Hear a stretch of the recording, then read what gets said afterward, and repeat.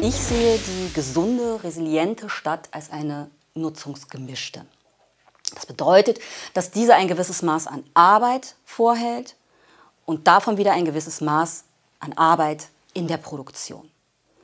Und dabei betone ich insbesondere das Vorhalten einfacher Arbeit.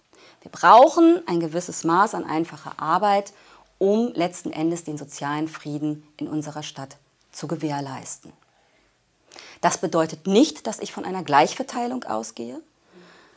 Ich weder innerhalb der Stadt noch zwischen den Städten.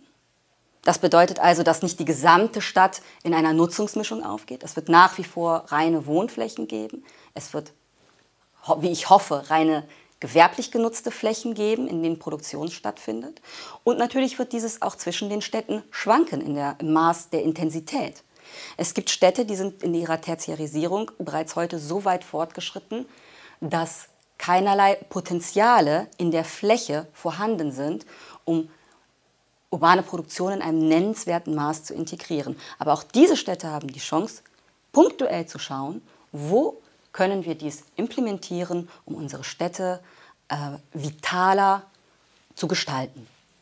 Jene Städte, die noch nennenswerte Fläche innerhalb ihrer Stadt in urbanen Lagen vorhalten, die gewerblich genutzt wird, die haben hier einen echten Wettbewerbsvorteil. Die haben hier enorme Potenziale, um darüber ihre Stadt nachhaltig, resilient zu gestalten.